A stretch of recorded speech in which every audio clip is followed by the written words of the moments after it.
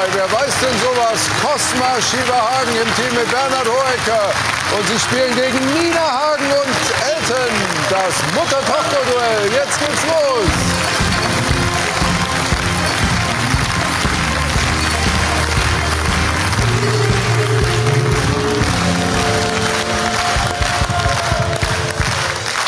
Herzlich willkommen im neuen Jahr, meine Damen und Herren. Wir hoffen natürlich, Sie sind gut reingerutscht, sind gut gestartet, haben sich ein paar Dinge vorgenommen fürs neue Jahr, für 2019. Wir wünschen Ihnen auf jeden Fall ein gutes und gesundes neues Jahr und hoffen natürlich, dass Sie uns auch gewogen bleiben in diesem Jahr. Also, wir haben uns tolle Gäste eingeladen für diese erste Sendung. Cosma Schieberhagen ist zu Gast. Mit Bernhard Hoeker. Und die einmalige Nina Hagen, ihre Mama mit Eltern.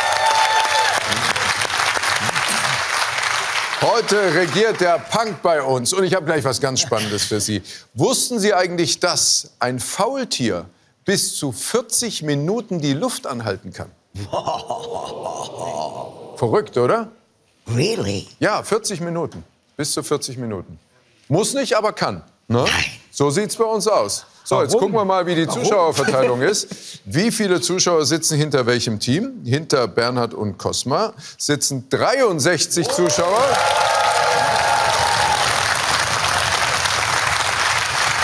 Und hinter Elton und Nina Hagen sitzen 62 Zuschauer.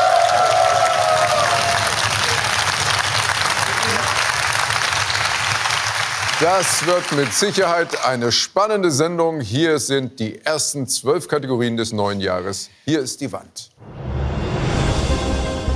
Zwölf Kategorien sind total genial, England, Basketball, damals unser Körper, Fragezeichen, Einspruch, tierisch, tierisch, Umwelt, andere Länder, andere Sitten, clever und Schlagzeilen.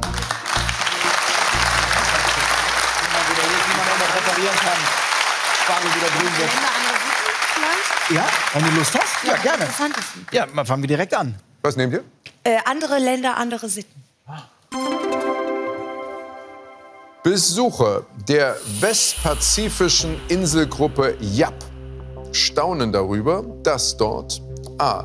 das Geld auf der Straße liegt, b. nur Essen, das gekocht worden ist, etwas kostet oder c. Kinder ab sechs Jahren ihre eigenen Wohnungen haben. Fängt ja schon mal gut an. Also, Geld auf der Straße liegt. Du bist ja schon ein bisschen rumgekommen, Cosma, ne? Ja, das, dann müsste ja das Geld für irgendwas anderes stehen. Also für irgend. Ja, die Frage ist, was ist das Geld? Also Ja, ja. ich glaube nicht, dass das Münzen sind und Scheine. Nee, deswegen. Ich habe mal eine Dokumentation gesehen. ich hatte viel Zeit zwischen Weihnachten und Neujahr. Nein, das ist schon.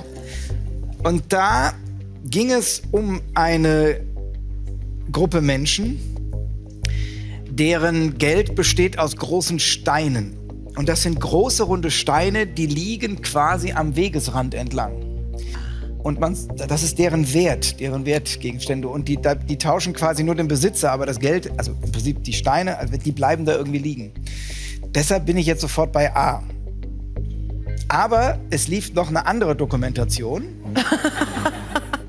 in der vielleicht die Wahrheit gesagt, also das gesagt wurde, was für die Inselgruppe Yap stimmt, aber die habe ich nicht gesehen. Insofern, das habe ich mir nämlich nicht gemerkt. Was aber auch für A stehen könnte, ist, dass da irgendwie in dieser Inselgruppe irgendwas Bestimmtes äh, angebaut wird, wovon die alle leben. Und das, Ach so, und das ja. wächst überall. Und da, das, Also- da führen Wege durch die Felder oder sowas. Und das Geld, oder die benutzen Muscheln und die Muscheln sind auch Teil der Straßen. Also das wir reden gar nicht, wir denken über B und C gar nicht mehr nach. Nee, irgendwie nicht. Ja, dann ne? lass uns ich das hab's gar nicht wegtun. gelesen. Ja, pass auf. Dann lass uns direkt A nehmen, ja, ich glaube auch. ohne nachzudenken. Wir probieren's. Wir haben B und C zugehalten. Gut, aber klang ja alles auch ganz Naja, äh, logisch, was ihr gesagt habt. Bis ins 20. Jahrhundert machten sich die Inselbewohner von Yep regelmäßig auf eine gefährliche Seereise. 460 Kilometer entfernt, auf Palau, verarbeiteten sie Mineralien, die es auf ihrer Insel nicht gab, zu Steinscheiben. Aufwand und Seltenheit machten die Steinscheiben sehr wertvoll und schließlich zur Währung. Heute werden in Yep Alltagskäufe mit US-Dollar getätigt. Das Steingeld kommt aber nach wie vor für größere Zahlungen zum Einsatz. Allerdings sind die Scheiben so schwer, dass sie zwar den Besitzer wechseln, aber einfach auf der Straße stehen gelassen werden.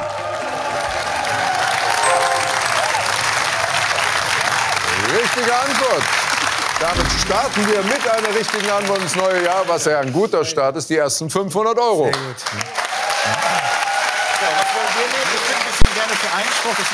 nehmen? Ich möchte gerne. England Können wir nehmen. gerne machen. England. Wir lieben England. Kommt bestimmt eine Wir haben spannende ein Frage. Punk-Gen. Ja, äh, der Elton total. Und Ja? Elton ist in Tiefe seines Herzens ist der Punker. Die im Norden Englands gelegene Stotthall Farm ist die Heimat von 900 Zuchtschafen und A. ist auf den Flaschenetiketten aller britischen Biere zu sehen. B. liegt zwischen den beiden Richtungsfahrbahnen einer Autobahn. Oder C. ist der Geburtsort von Theresa May und Elton John. Warum sollte diese Farm auf allen britischen Bieren zu sehen sein? ja, weil da der Punk zu Hause ist in England. Also der wurde da quasi erfunden. Naja. Das stimmt. Ja, aber das, das sind Zuchtschafe und das soll auf jedem englischen Bier zu sehen sein, diese Farm? Macht für mich keinen Sinn.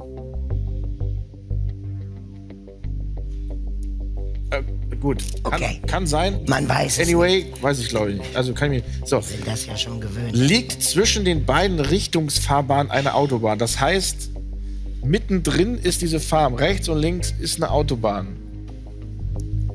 Das kann ich mir zumindest vorstellen, dass das möglich ist. Und diese Farm, sind 900 Zuchtschafen, ist der Geburtsort von Theresa May und Elton John. Die- die- Die Antwort ist am lustigsten. Die würde ich gerne nehmen. Weil die unter Schafen groß geworden sind. Nee, weil die in einer total romantischen Ecke von England auf der Welt gepurzelt sind. Hm. Stotthall Farm. Where, where were you born? Well, nearby Stotthall Farm. Gut vorstellen. Kannst du dir ganz kurz nochmal, kannst du dir nicht vorstellen, dass es total schön ist, was ist schön in Anführungszeichen, eine lange Autobahnstrecke und zwischendrin ist eine lange Strecke, wo dann die Schafe drauf sind? Nee. Nee. Gut. Ich kann mir vorstellen, dass zwei Menschen, die im hintersten Norden, in der Nähe von der Schafe, auf die Welt gekommen sind, dass die sich dann loslösen und fortmachen Ja. in die Mitte. Ah, okay, pass auf. Du bist für das Harmonische und Schöne. Ja, es ist doch logisch. Wenn man hinten im Norden auf die Welt krabbelt, dann Ja, das ist- wird man wir so nehmen- kräftig, Ja, wir nehmen C. dass das man ist die ganze logisch. Welt... Antwort C. Wo sind Sie jetzt geboren oder was ist da passiert im Norden Englands? Stotthall Farm. Paul Thorpe lebt mit seiner Frau und seinem Sohn auf der über 200 Jahre alten Stotthall Farm. Hier kümmern sie sich um 900 Zuchtschafe und können dabei täglich von Zehntausenden Autofahrern gesehen werden. Das Bauernhofgelände befindet sich zwischen den beiden Richtungsfahrbahnen des M62 Motorway.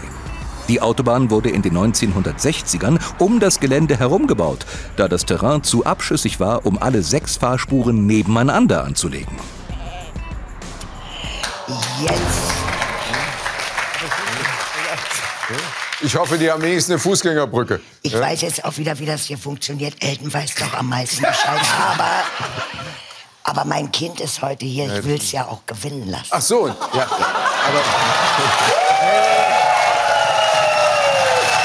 aber, da, aber da haben die was dagegen. Die wollen ja Gänse. Das war doch nur ein Witz. Ich mag Mutterliebe. Was die So, nächste, auch, ne? nächste Kategorie. So, bitte, such dir Jetzt mal. suchst du dir mal Jetzt was bin ich mal dran, dann Ja? nehme ich Einspruch. Laut einer Entscheidung der Stadt Wien verstößt es gegen die seit 2018 in Europa geltende Datenschutzgrundverordnung, wenn A. auf einem Kaffeebecher der Vorname eines Kunden steht, B. ein Friseur den Namen eines Kunden erfragt oder C. ein Vermieter ein Klingelschild mit dem Mieternamen anbringt. So, auf einem Kaffeebecher der Vorname eines Kunden steht. kann man sich nicht vorstellen, oder? Zumal die ja auch sagen, wie heißt du? Und dann kann man ja sagen, ich könnte ja sagen, ich heiße Kai, weil ich nicht will, dass mein Name da drauf steht. Ich würde auf C tippen. Und warum? Weil äh, alles wahnsinnig angestrengt, anstrengend geworden ist seit dieser komischen Datenschutz, Grundschutzverordnung. Und ähm, ich glaube, in dem Fall darf der Vermieter das einfach nicht. Alles andere ist mehr so all alltägliche Sachen, wo man, glaube ich, kein Gesetz für machen kann. Aber in Mietersachen eher schon. Also zumal A und B wird etwas erfragt. Also ich frage dich, wie heißt du, schreibst auf den Becher drauf. Als Friseur sage ich, wie heißt du? Und das ist natürlich eine Zustimmung. Und C ist dann quasi das fremdbestimmte Bekanntgeben deines Namens. Muss man ja selber entscheiden können, äh, was man für einen Namen an sein Schild Ja, sollen wir dann schreibt. C? Ich glaube ja. Ja, dann sag du das. Ich meine, es funktio guck mal, funktioniert C. immer noch nicht. Funktioniert nicht. Muss ich sagen. Muss ich sagen. Ja, gut. C. C. Und nur es gucken, wäre wirklich Computer schade, wenn dein Name nicht mehr auf einem Kaffeebecher stehen würde. Cosma ist so ein schöner Name. Das ist äh, wohl wahr. Ja, so schön. Möchte ich auch heißen. In Wien hat eine Entscheidung bezüglich der seit 2018 geltenden EU-Datenschutz-Grundverordnung für Wirbel gesorgt. Ein Mieter hatte sich beschwert, dass sein Name ungefragt auf sein Klingelschild geschrieben worden war. Er beklagte den mangelnden Datenschutz. Die zuständige Magistratsabteilung gab dem Mieter Recht. Die betreffende Hausverwaltung entfernte daraufhin die Namen auf insgesamt 220.000 Klingelschildern in Wien. Bewohner dürfen jedoch weiterhin selbst ihren Namen auf dem Klingelschild anbringen. Alcantara. Zweite Frage, zweite richtige Antwort. Ihr steht bei 1000 Euro. So, Elton, nächste Ja. Kategorie. Äh, du, wolltest, knows. Du wolltest damals gerne, ne? Oh ja, damals. Damals. Ja. Welches Recht wurde 1907 den Kellnern der Pariser Bistros eingeräumt, nachdem sie wochenlang dafür gestreikt hatten? A. Baskenmützen in ihre Freizeit zu tragen. B. Sich einen Schnurrbart wachsen zu lassen. Oder C. Vom Gast unverzehrte Baguettes mit nach Hause zu nehmen. Die Franzosen sind sehr solidarisch. Und wenn Jetzt Baskenmützen in der Freizeit, das durften die doch bestimmt von vornherein. Genauso Schnurrbartelten.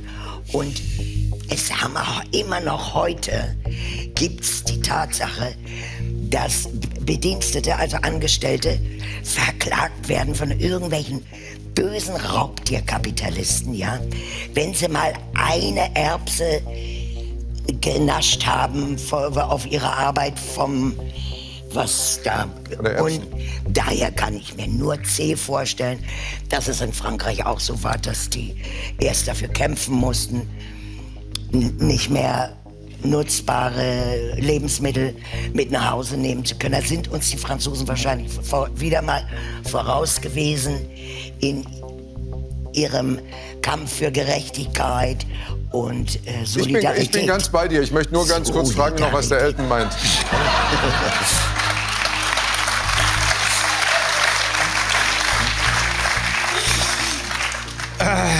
Ich, ich schwanke zwischen A und B.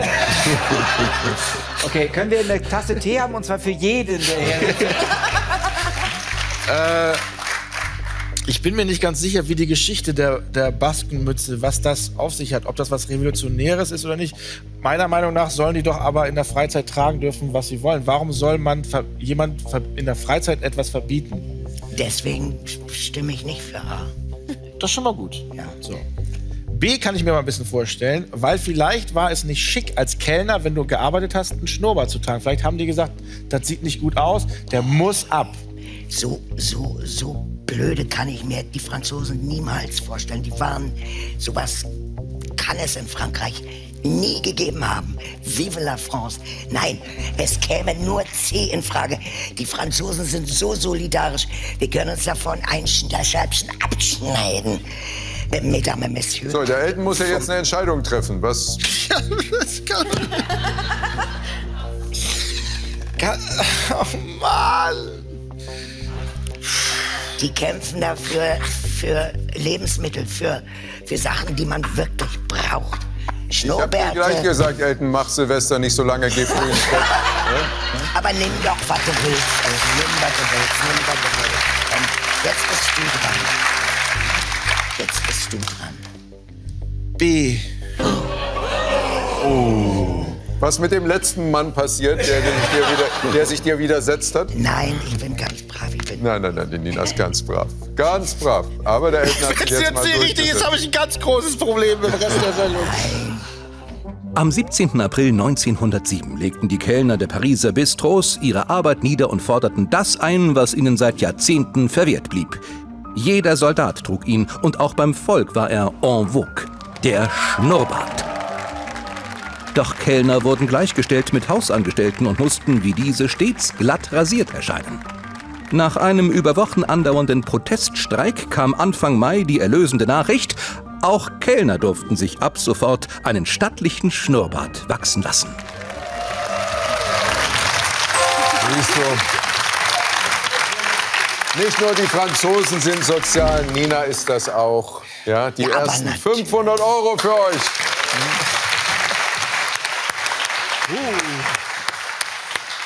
Sehr gut, sehr gut, sehr gut. Also es klingt komisch, aber mich interessiert Basketball. Das, weil das kann vielleicht jemand wissen hinter uns. Das sind alles Basketball. Das kann gut sein. Ich kann dir da nicht helfen, aber machen Ja, ich wir. mir Machen auch wir. nicht. Komm. Also dann lass uns doch. Wir nehmen Basketball. Dann nehmen wir das doch mal aus dem Spiel. Warum gibt es in der amerikanischen College Basketball-Liga keine Rückennummern von 6 bis 9? Sechs, sieben. A. Um die Produktionskosten der Trikots niedrig zu halten. B. Damit die Schiedsrichter sich leichter verständigen können. Oder C. Weil die Nummern an inaktive Legenden vergeben wurden. Inaktive Legenden. Ja. Achso. Das ist ja geil. Nicht mehr aktive Legenden. Ah, So, also das ist auf jeden Fall schon mal eine interessante Frage. Das muss man mal ganz klar sagen. So, äh, um die Produktionskosten der Trikots niedrig zu halten. Warum sollen 6, 7, 8 und 9 teurer sein als andere als Zahlen. 1, 2, 3, 4, 5 und 10, 11, 12 und so weiter? Damit die Schiedsrichter sich leichter verständigen können. Hä? Wenn die die Leute, also die haben 1, 2, 3, die wollen auf den Spieler zeigen. Dann haben sie mit einer Hand können sie zeigen, wer es ist, und mit Ja. der anderen können sie sagen, was er gemacht hat. Und das ist die 10. Das heißt, sie können mit einer Hand können sie den Spieler anzeigen, der es war. Und von der Der 6 bis anderen 9 ist schwierig. So, und mit der zweiten ne? können sie dann sagen, raus, weg, hoch, toll und so weiter. Das wäre für mich eine Erklärung für B. Weil die Nummern an inaktive Legenden vergeben wurden. Also, das kommt vor, dass bestimmte Rückennummern an, also an Spieler, die Spieler getragen haben, nicht mehr vergeben werden. Das kenne ich so aus dem Fußball, kenne ich College das. auch? Ja, gut. Aber das ist dann eher innerhalb einer Mannschaft. Also, Ja, dass eben. in einer bestimmten Mannschaft die Nummer 17 nicht mehr vergeben wird, weil die hat immer der Klaus getragen und der war toll. Deshalb bin ich vom Gefühl bei B. Wollt ihr euch was trauen oder fragt Ja, ihr das ist genau die Sache. Wir können aber auch einfach die, also vielleicht, vielleicht gibt's, hat irgendeiner eine Idee oder weiß es oder nimmt einfach das, das ja, aber zur Absicherung finde ich das B. Ich bin mir da nicht sicher genug. Einmal Okay. für die Versicherung. Für die Publikum. Versicherung, Alles bitte. klar. Wir würden uns gerne einmal Publikum. absichern. Kennt sie irgendjemand? Ist jemand bei? Ja? Ja? Ja, ja. Noch jemand, der es weiß? Nö, nö, einfach raten. Schauen wir erst mal. Vielleicht. Danke. Hallo. Hallo, ich bin Peter aus Hamburg. Okay, Peter, schon mal, schon mal beim Basketball gewesen? Äh, Basketball nicht, aber ich war mal beim Baseball und da weiß ich, dass da Nummern äh, nicht weiter benutzt werden, wenn Legenden die getragen haben. Aber wie Bernhard gesagt hat, das ist nur innerhalb der Mannschaften. Außerdem geht es hier ums College Basketball. Okay. ähm, insofern bin ich auch bei B. Auch bei B, alles klar. Okay, Peter bestätigt das also und sagt, das klang gut, was der Bernhard da Kurz gerade nervös bei erklärt. der Antwort. Oh, wer weiß. Weil beim Basketball die Spielgeschwindigkeit so hoch ist, müssen Schieds- und Kampfrichter auch bei großer Lautstärke möglichst schnell kommunizieren können. Für die wortlose Verständigung gibt es in der amerikanischen College Basketball Liga deshalb spezielle Handzeichen, mit denen sie zum Beispiel signalisieren, welcher Spieler ein Foul begangen hat. Damit das mit maximal zwei Händen funktioniert, ist es den Vereinen offiziell verboten, die 6, 7, 8 oder 9 in Trikotnummern zu benutzen. Sehr gut. Dankeschön. Danke. Aber 16 sind 10 mal rein. So, es kommen noch mal 500 dazu. Ihr steht bei 1500.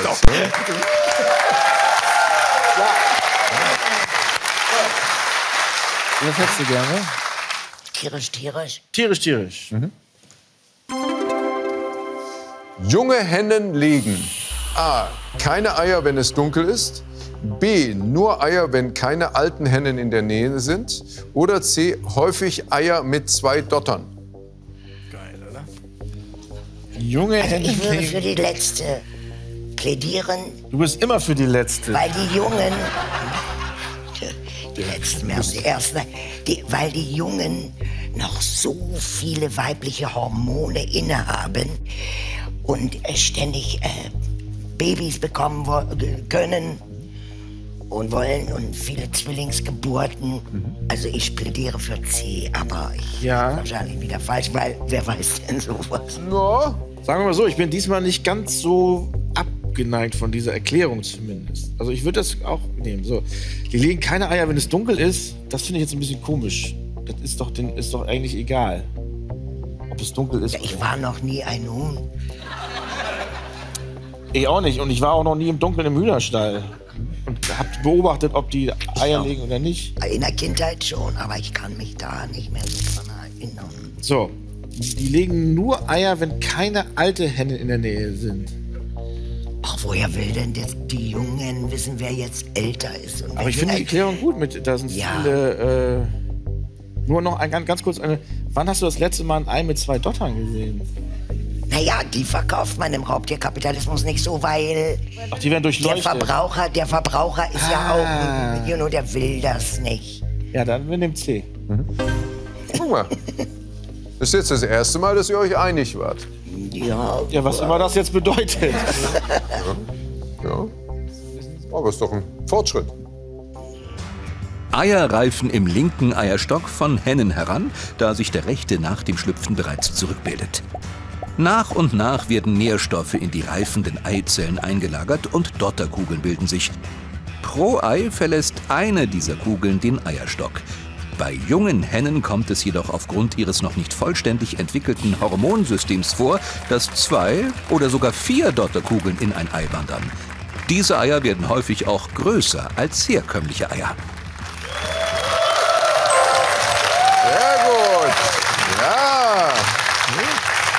So, 1000 Euro sind es jetzt bei euch. es leben die jungen Hühner. Nächste Kategorie. Äh, lacht dich davon irgendwas an? Also jetzt außer den Gesichtern? Äh, ach nee, jetzt ist alles weg. Schlagzeilen vielleicht. Oh, das ist für mich ist ganz schlecht. Lass Dann, uns lieber clever äh, nehmen oder sowas. Clever. Clever. Äh, Schlagzeilen habe ich ganz, also letztes immer Jahr, nicht, letztes Jahr nicht gut gelaufen. Ein Deo-Roller zum Nachfüllen hilft auch bei A. Schmerzenden Muskeln, B. Hausstauballergie oder C. Altersbedingter Weitsichtigkeit. Was? Das Entscheidende ist ja ein Deo-Roller zum Nachfüllen. Deshalb kann ich mir vielleicht vorstellen, wenn man den irgendwie aufschraubt, dass man die Rolle oder das, was auch immer da drin ist, aufmacht und als Lupe benutzt. Also du hältst das so drüber und dann kannst du irgendwie lesen, weil entweder der Boden ist besonders fest, kannst du ausspülen, guckst dann so durch oder du nimmst die Kugel und kannst die auf was draufhalten und dann was. Das könnte ich mir vorstellen. Weil was, wie soll man schmerzende Muskeln mit einem, Na also was unterscheidet einen Nachfüll-Deo-Roller von einem Normalfüll-Deo-Roller bei schmerzenden Muskeln? Also so wie du es jetzt gesagt hast, würde ich dann auch C sagen, aber ich, ich verstehe die Frage und die Antworten nicht. Mach du mal. Wir haben ja eh kein Publikum mehr, wir müssen es selber machen. Ich kann Ja. ja, wenig ist schon noch erklären. Deshalb äh, C. Ja, die sind noch da und C. die stehen auch weiter hinter uns, aber Äh, läufst du sind mit aus so der zwei, Versicherung De rausgeflogen. läufst du mit so zwei Deo-Rollerköpfen durch die Gegend? ich guck da rein. Warte, die zeigen es dir jetzt. Mhm. Ja, Pass mal ja. auf. Bin gespannt. Die zeigen es dir jetzt. So, gespannt. hier, guck. Aus einem Deo-Roller zum Nachfüllen kann schnell ein kühlender, schmerzstillender Massagestick gegen leichte Muskelschmerzen gebastelt werden. Statt mit Deodorant den Stick mit Mentholsalbe füllen und über den schmerzenden Muskel rollen. Zusätzlich zum Massageeffekt beeinflusst der Wirkstoff Menthol die Kälterezeptoren der Haut und erzeugt dadurch beim Auftragen eine kühlende, schmerzlindernde Wirkung. Das Menthol. Also kannst du auch Franzbranntwein reintun, Ja, also gut, eine kühlende Flüssigkeit rein und durch, mit dem Stift und der Kugel kannst du dann die Schmerzen Kann ich den stellen. auch als Bierglas benutzen, wenn ich den Roller weglasse? Ja, okay. Es bleibt bei 1500 Euro und ihr könnt jetzt ausgleichen. Äh, wir nehmen jetzt total genial. In der Hoffnung, dass es auch so eine schöne Frage ist. Was kann in der Küche zum Verschließen von offenen Türen, Tüten, Entschuldigung. Was kann in der Küche zum Verschließen von offenen Tüten genutzt werden? Gummiband. A. Dosenöffner und Teelöffel. B. Gemüseschäler und Blatt Papier. Oder C. Messer und Korken. So, okay, wollen wir mal gucken. Also, Tüte ist offen, die will man zumachen. Dosenöffner. Dosenöffner gibt es ja verschiedene. Aber nehmen wir mal an, also das sind diese hier. Da machst du ja was mit kaputt. Und das Ich heißt ja bin auch schon. raus. Ich, Ja, danke. du entscheidest das alleine. Nein, nein, nein, du musst mir schon. Sag zumindest mal ja oder nein. Äh, aber was soll der Teelöffel damit? Gemüseschäler und Blatt Papier. Gemüseschäler. welchen- Ich möchte diese Sendung gerne reformieren oder revolutionieren. Die, die, die Fragestellung gefällt mir nicht. Wer, wer weiß denn sowas? Kann man nicht das? Wer weiß denn sowas erweitern mit Komma oder was? Wer weiß, Dann hätte man denn vielleicht sowas noch als was? Joker, dass man vielleicht mal googeln gehen kann. Oder, oder dass man, dass man ein bisschen, dass man nicht Aber- ständig hier wie die Kuh vor neuen Tor. Nein, aber ich, ich, weiß ja, ich weiß ja, wofür Nina ist. Ja, für C. du bist ja immer für das Letzte. Du bist immer für das Letzte. Und ich bin da gar nicht, ich, ich bin da gar nicht so weit weg. kann mir das überhaupt nicht vorstellen. Ja, pass so mal weit auf. reicht meine Kraft nicht. Ich habe immer noch einen Kater von Silvester. Ha- Das macht es natürlich heute auch nicht leichter. Also, wenn du hier du, du, du, du, du machst, ne, den Zug windest, Ich google in der Zeit mal, wo Elton John geboren ist. dann ist das, dann ist das zu. Jetzt pass auf. Jetzt nimmst du den Korken, das Messer, du schlitzt den Korken auf und steckst das, dieses du, du, du, du, du, Ah, was du verstehe. zugemacht hast, da Dufte. rein. Okay, ich bin bei dir. Ja. Kann das funktionieren? Das kann ich. Sowas würde ich auch ausprobieren. Cosma, wir probieren das mal aus. C. Okay, dann gucken wir uns das an, wie es funktioniert. Praktischer Tipp. Oft wird nicht der komplette Tüteninhalt benötigt und die Tüte soll wieder verschlossen werden. Dafür reichen ein Messer und ein Korken. Mit dem Messer den Korken längs bis zur Hälfte einschneiden. Nun den Tütenrand einmal umklappen und den Korken mit dem Schlitz darauf stecken. So ist die Tüte wieder sicher verschlossen.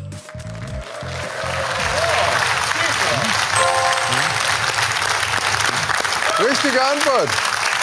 Siehst du. Es ist fast immer C, das ist ganz einfach bei uns. Ja? Ja? Steht jetzt bei 1500 Euro.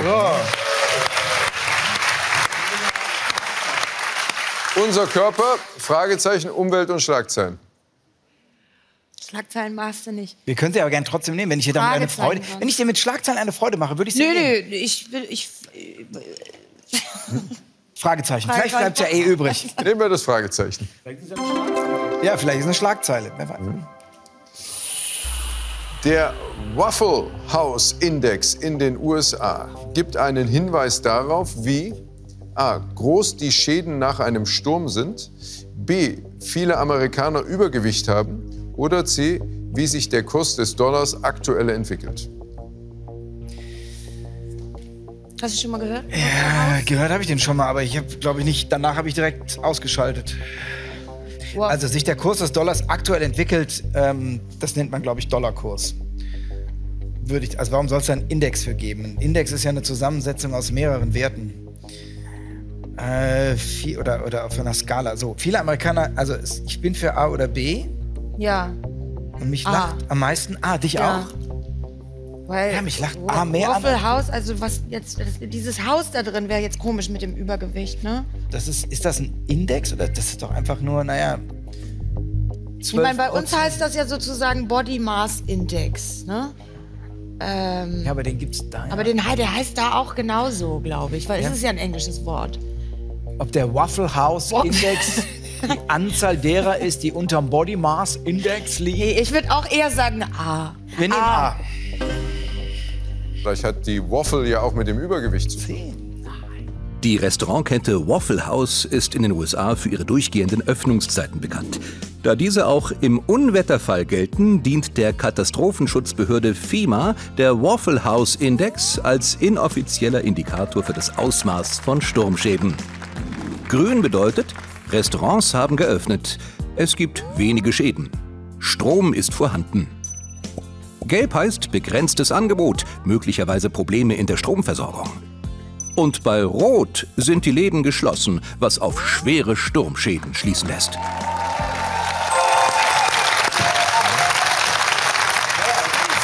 Richtige Antwort, 2000 Euro. So. Was ist mit unserem Körper? Das weiß ich nicht, das ist eine sehr private Frage. Okay, wir nehmen Körper, dann lassen wir Cosma die Schlachtzeilen. Wird- Die kriegen wir ja wahrscheinlich, weil die ja Umwelt daneben. Aber wir nehmen mal unser Körper. Unser Körper.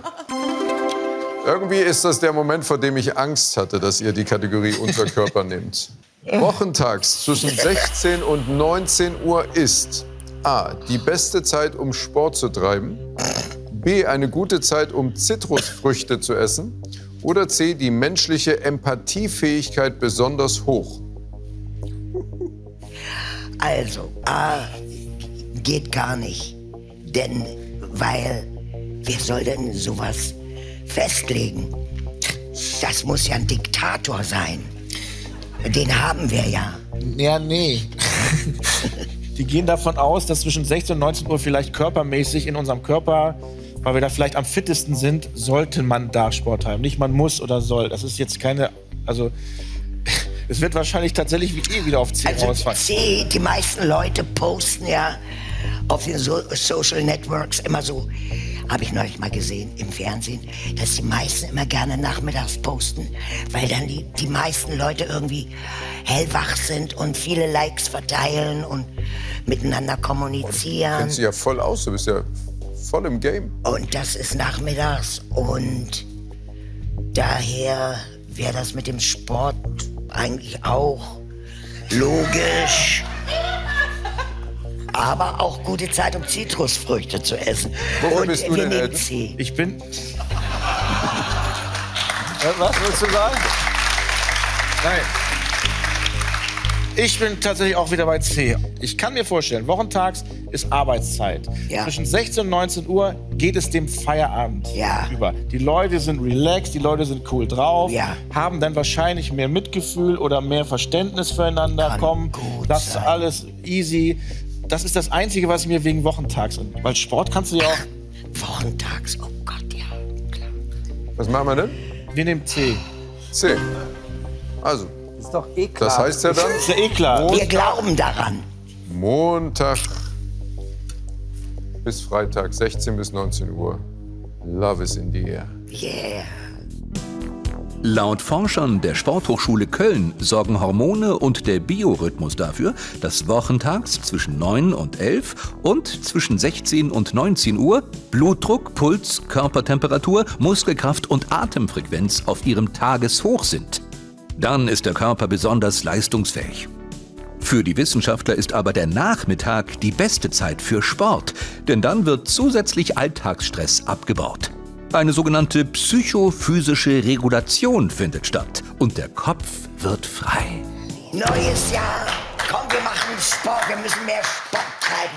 Wir müssen sowieso mehr Sport Genau. treiben. Und der Elton muss mehr auf seine Gäste hören. 1500 Euro bleiben es ja, es wird nichts abgezogen. Wir haben noch Umwelt und Schlagzeilen. Weißt du, was ich dir jetzt zum neuen Jahr schenke? Eine Schlagzeile. Eine Schlagzeile. Oh, bitte nicht. Aber du packst aus. Ich, mach, ich, ich fass das nicht an. Die Wählervereinigung pro Bockwurst. Ach Gott. Weißt du, was ich meine? Weißt du, was ich meine? A ist eigentlich eine vegane Bewegung. B wurde im Sommer 2018 von Uli Hoeneß gegründet. Oder C stellt seit Oktober 2018 den Bürgermeister in Ilmenau. Also los Also geht's. wenn es eine vegane Bewegung wäre, das wäre schon ein lustiger Name. Ja, das wär Eine wirklich sehr vegane lustig, das Bewegung. wär Aber so lustig sind die Veganer, glaube ich. nein, nein, nein, nein. Ähm, wurde im Sommer 2018 von Uli Hoeneß Ja, gegründet. Hätte man schon mal irgendwo Ja, gelesen oder gehört. Das ist, glaube ich, ein lustiger Gag, weil er. Wir also, sagen einfach C. Ja, Bernhard, der Apfel fällt nicht weit ja, ja, vom ich hab Stamm. das Gefühl.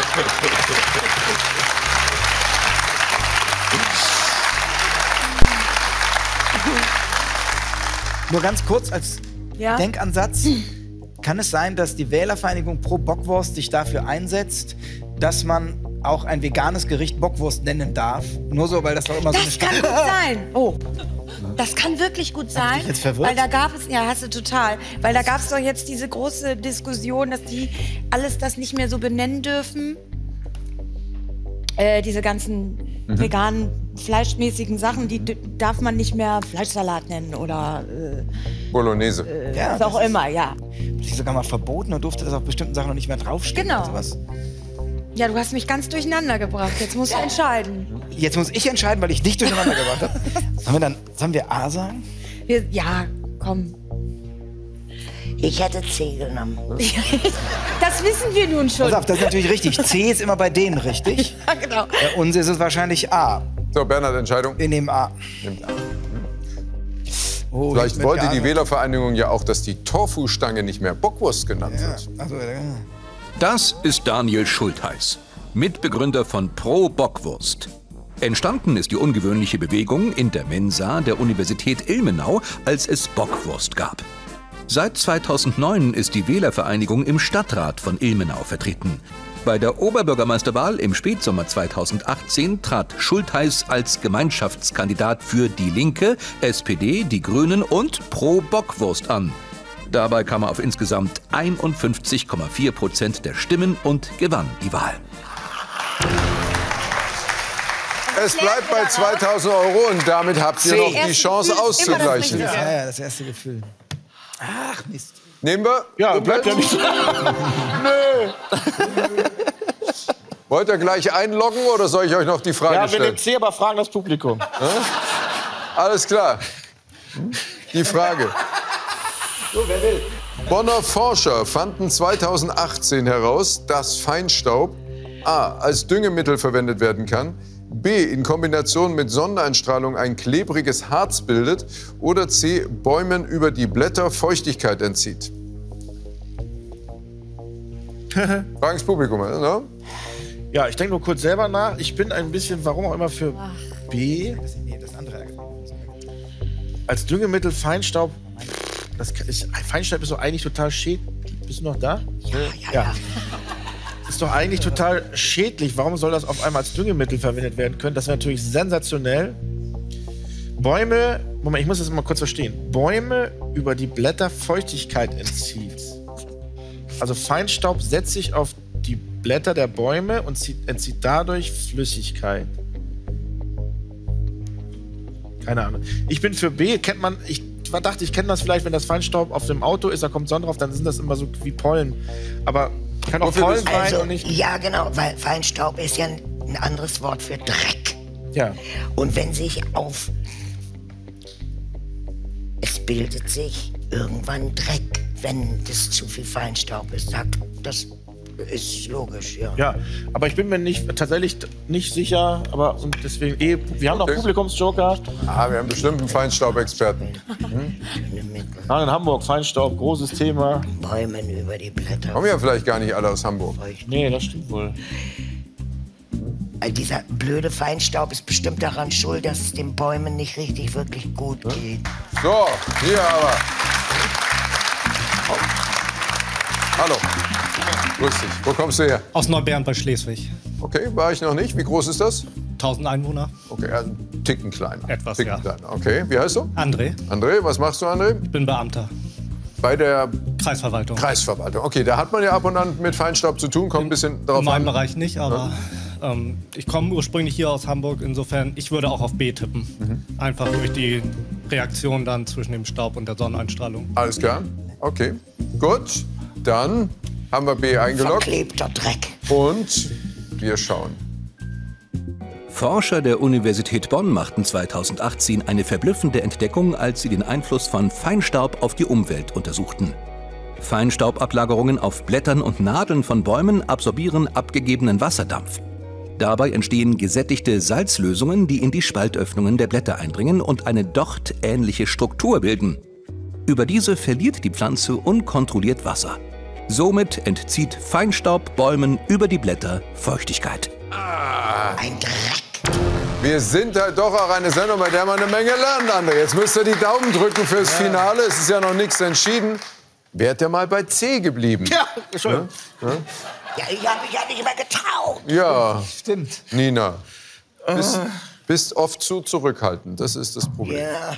Wir schauen auf den Zwischenstand vor dem Finale. Bernhard und Cosma Schieberhagen haben 2000 Euro auf dem Konto. Elton und Nina Hagen haben 1500 Euro auf dem Konto. Hier ist unser Finale.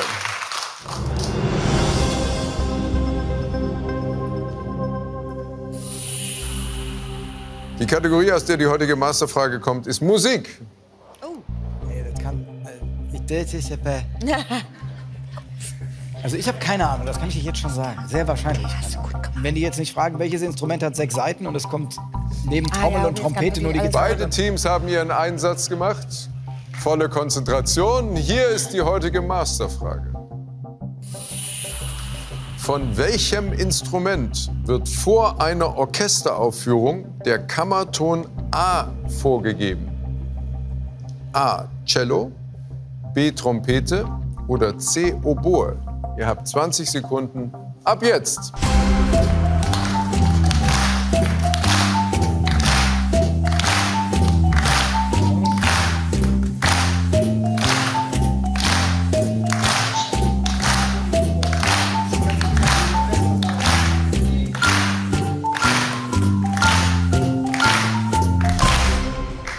Zeit ist um. Beide Teams haben Geld gesetzt, eine Antwort eingeloggt. Wir stehen kurz vor der ersten Entscheidung des neuen Jahres. Bleiben Sie dran, wir sind gleich zurück.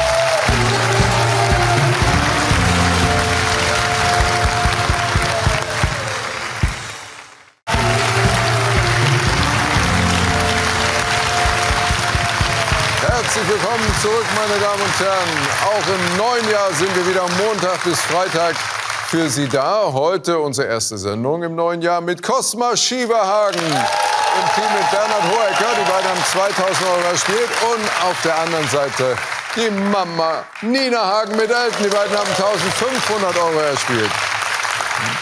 So, wir schauen mal auf die gerade gestellte Masterfrage. Von welchem Instrument wird vor einer Orchesteraufführung der Kammerton A vorgegeben? A. Cello, B. Trompete oder C. Oboe? Wie viel Geld habt ihr gesetzt? Bernhard und Cosma haben gesetzt 1001 Euro. Elton und Nina haben gesetzt 1499 Euro. Auf welche Antworten habt ihr getippt? Bernhard und Cosma.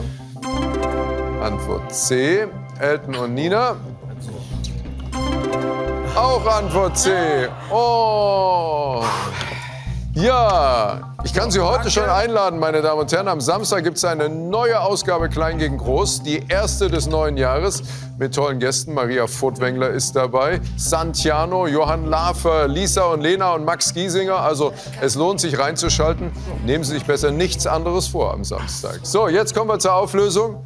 Von welchem Instrument wird vor einer Orchesteraufführung der Kammerton ein gestrichenes A vorgegeben?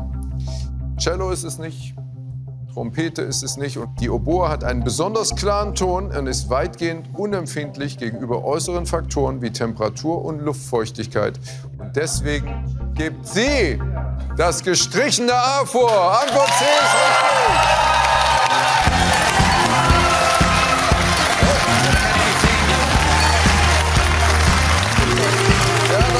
Osman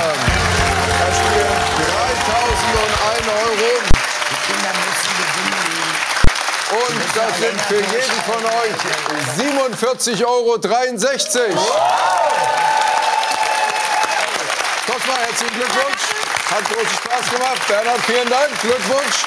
Erster Sieg im neuen Jahr. Ah, kommen ja noch ein paar Sendungen. Liebe Nina. Es war ein Fest. Vielen Dank. Ich küsse dich später. Ja. Dankeschön. 47,63 Euro auch für unsere drei App-Mitspieler. Wenn Sie unser ARD-Quiz-App noch nicht runtergeladen haben, tun Sie das für die nächsten Sendungen oder auch für zwischendurch. Danke, das war's für heute. Tschüss, machen Sie es gut.